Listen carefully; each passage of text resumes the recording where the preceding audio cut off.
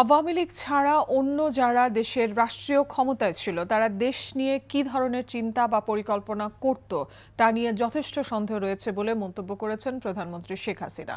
স্বাধীনতা পদক দু হাজার তেইশ প্রদান অনুষ্ঠানে তিনি এই মন্তব্য করেন। বর্তমান সরকার দেশের উন্নয়নে অ্যাডহক ভিত্তিতে কোনো কাজ করেনি, যা করেছে, সঠিক পরিকল্পনার মাধ্যমেই করেছে বলেও জানান শেখ হাসিনা।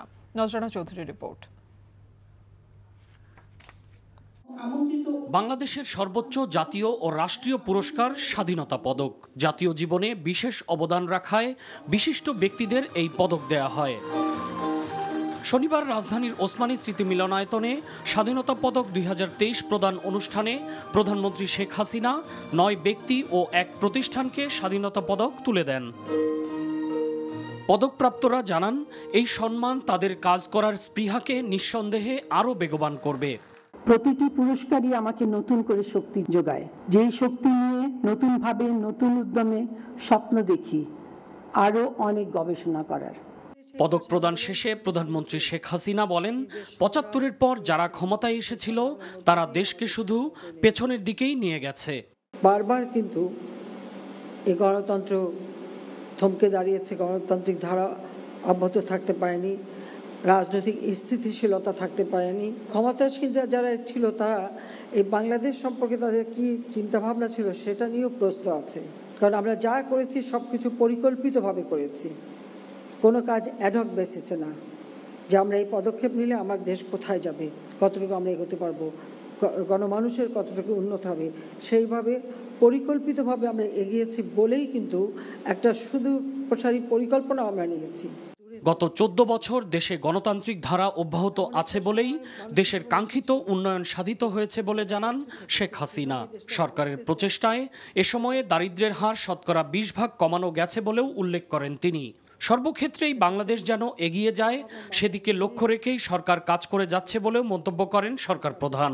যারা পুরস্কার পেয়েছেন, তাদেরকে আমি আন্তরিক অভিনন্দন জানাই। কারণ তাদের অনেকের যে আত্মত্যাগ সেটা হয়তো অনেকেরই জানা ছিল না, অনেক ইতিহাস তো হারিয়ে যাচ্ছে। আর যারা আমাদের বিভিন্ন ক্ষেত্রে অবদান রেখেছেন, আমি আশা করি যে যারা পুরস্কার প্রাপ্ত তারা এবং এই পুরস্কারের মাধ্যমেই আমাদের দেশের নতুন প্রজন্ম আরও উদ্বুদ্ধ হবে এবং বিভিন্ন ক্ষেত্রে তারা আন্তরিকভাবে কাজ করবে। যে কাজ আমার দেশের মানুষের কল্যাণে আরও বেশি কাজে লাগবে এবং দেশের মানুষের জীবনেরকে আরও উৎকর্ষ সাধন করবে এবং উন্নত করবে।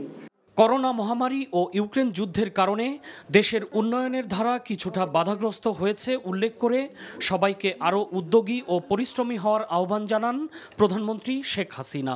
Nazrana Chowdhury, NTV news, Dhaka. বিনা ওয়ারেন্টে বিএনপি নেতাকর্মীদের গ্রেফতার না করতে সশরীরে ঢাকা মেট্রোপলিটন পুলিশ কমিশনারের কাছে আহ্বান জানিয়েছে বিএনপির একটি প্রতিনিধি দল। ঢাকা মহানগর উত্তর ও দক্ষিণ বিএনপির আহ্বায়ক এবং সদস্য সচিবরা সকালে ডিএমপি কমিশনারের কার্যালয়ে গিয়ে সাক্ষাৎ করে এই আহ্বান জানান। এছাড়া আগামী সোমবার স্বাধীনতা দিবস উপলক্ষে ঢাকায় মুক্তিযোদ্ধা সমাবেশ ও রমজান জুড়ে ইফতার পার্টি সহ নানা কর্মসূচি যাতে নির্বিঘ্নে করা যায় সে বিষয়েও পুলিশের সহায়তা চায় দলটি। ডিএমপি কমিশনারের সাথে বৈঠক শেষে বিএনপি নেতারা বলেন, জামিনে থাকা সত্ত্বেও বিএনপি নেতাকর্মীদের বিভিন্ন স্থান থেকে গ্রেফতার করা হচ্ছে। নির্দলীয় সরকারের অধীনে বিএনপি নির্বাচনে যাবে না জানিয়ে তারা বলেন, নির্বাচন ঘিরে পুলিশের নিরপেক্ষ ভূমিকাও আশা করা হয়েছে বৈঠকে। যদি কারণ আমি ওয়ারেন্ট থাকে, আপনারা দেখাবেন, ওয়ারেন্ট দেখিয়ে গ্রেফতার করুন, আমাদের কোনো আপত্তি নেই। তবে এভাবে নিরীহ নেতা কর্মী, যারা, যাদের কোনো মামলা নেই, যারা ঘরে ঘুমাচ্ছে তাদেরকে রাত তিনটার সময়, চারটার সময় গিয়ে ধরে নিয়ে আসবেন, এটা হতে পারে না। যদি এভাবে গ্রেফতার করেন, তাহলে আমরা সকলে মিলে নেতাকর্মীরা আসি, আমাদের সকলকে একসঙ্গে গ্রেফতার করুন। আমরা সেভাবেই সেদিকে এগোচ্ছি। নির্বিঘ্নে আমরা এই ইফতার মাহফিলগুলো করতে চাই।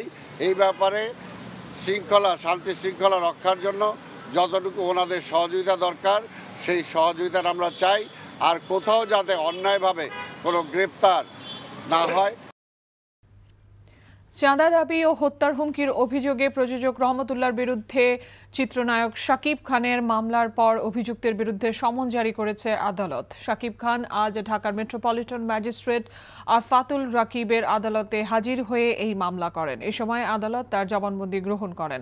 একই সঙ্গে আদালত রহমাতুল্লাহকে আগামী ছাব্বিশ এপ্রিল আদালতে হাজির হওয়ার জন্য সমন জারি করে। অপারেশন অগ্নিপথ সিনেমার অস্ট্রেলিয়া প্রবাসী প্রযোজক রহমাতুল্লাহ।